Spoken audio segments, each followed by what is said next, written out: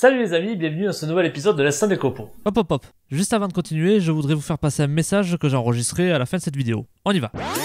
Vous savez, j'adore les produits rallye et j'ai du coup décidé de travailler un petit peu plus étroitement avec eux. Nous avons essayé de mettre au point quelque chose qui pourrait vous faire plaisir à vous aussi. Et donc nous avons décidé de faire une boutique un petit peu spéciale chez Rally, qui est la boutique spéciale Instant des Copeaux. Alors au final ce n'est pas juste une boutique aux couleurs de l'Instant Copeaux, c'est bien plus que ça. Vous avez des tarifs spéciaux comme ça euh, toute l'année. Donc voilà, je vous redirige vers une petite vidéo explicative juste ici, là je vous mets une petite fiche là, où je vous explique le concept de façon un petit peu plus approfondie. Voilà, j'espère que ça vous plaira et que vous y trouverez votre bonheur. Allez, on reprend la vidéo, c'est parti vous vous en doutez sûrement, mais entre youtubeurs spécialisés dans le DIY comme moi, on se connaît tous. Il nous arrive d'échanger parfois, et dernièrement, mon ami Renaud Bauer nous a soumis une petite idée. Il nous a mis au défi cette création bois, Samuel Mamias, Laurent Jacquet, enfin tous les youtubeurs qui postent assez régulièrement sur la plateforme, de construire une petite boîte en bois à notre sauce. Donc c'est ce que je vais réaliser aujourd'hui. L'instant des copeaux, c'est parti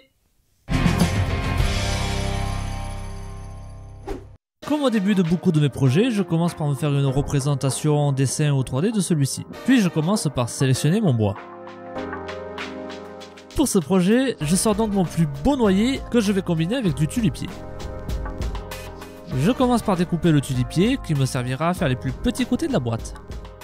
Pour obtenir de fines planchettes, je la passe d'abord à la dégauchisseuse, puis à la raboteuse.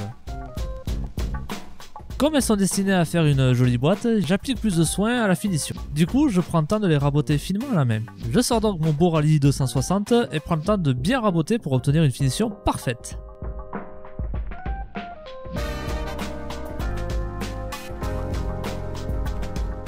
Ceci étant fait, je peux attaquer maintenant avec le noyer, auquel j'applique exactement le même traitement.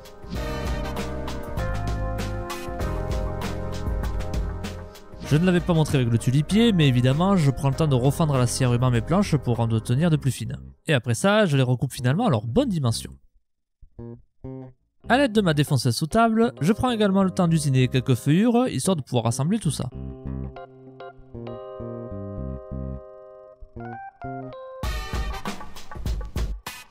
Je prends le temps également d'usiner une feuillure pour y mettre le fond de la boîte. Et en parlant du fond, j'entreprends de fabriquer celui-ci. Et là, c'est vraiment les mêmes étapes qu'avant.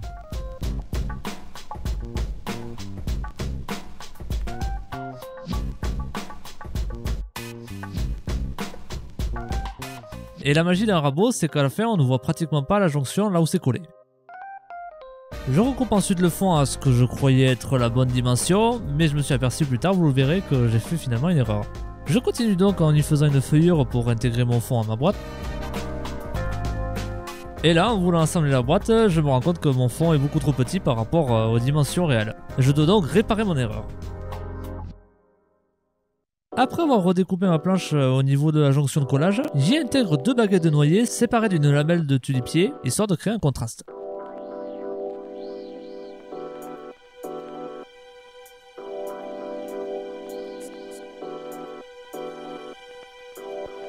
Et une fois sec et arasé, je peux enfin recoller ma boîte.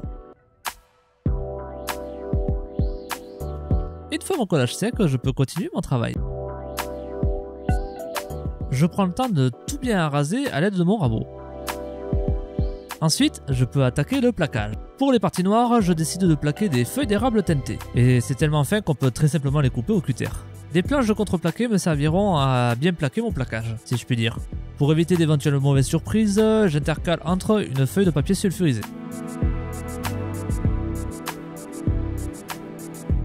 Après y avoir collé un couvercle noyer, j'arrase celui-ci.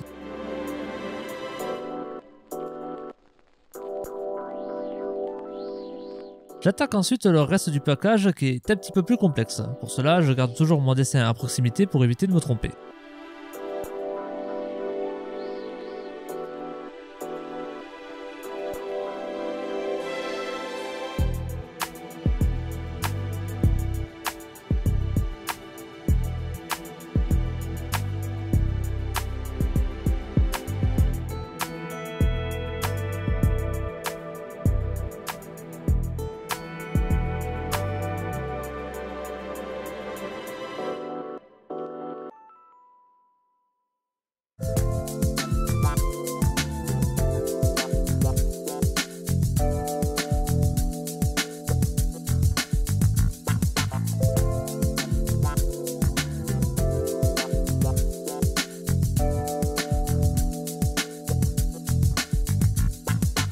A l'aide d'une petite fraiseuse, j'attaque les parties du bois qui recevront un plaquage en feuille d'or. Ça permettra de donner une petite texture qui devrait être intéressante.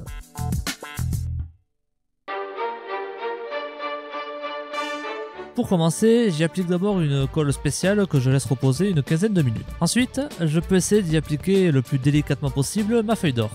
Quand j'étais tout petit, je rêvais d'être restaurateur et poseur de feuilles d'or. C'est donc un rêve qui se réalise en quelque sorte. C'est un travail extrêmement délicat et comme vous le voyez pour mon premier essai, ce n'est pas parfait. Vient ensuite l'étape qui me stressait le plus, c'est-à-dire euh, ouvrir la boîte. Mais bon, ça s'est très bien passé là aussi, euh, je n'ai pas dérapé.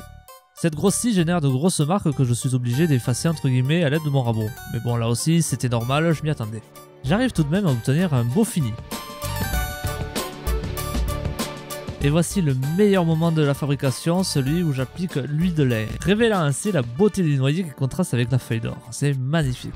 Voici donc le résultat que j'obtiens pour le moment. La boîte n'est pas finie, rassurez-vous. Je compte donc sur vous pour revenir voir la suite dans un prochain épisode de l'Instant des Copeaux.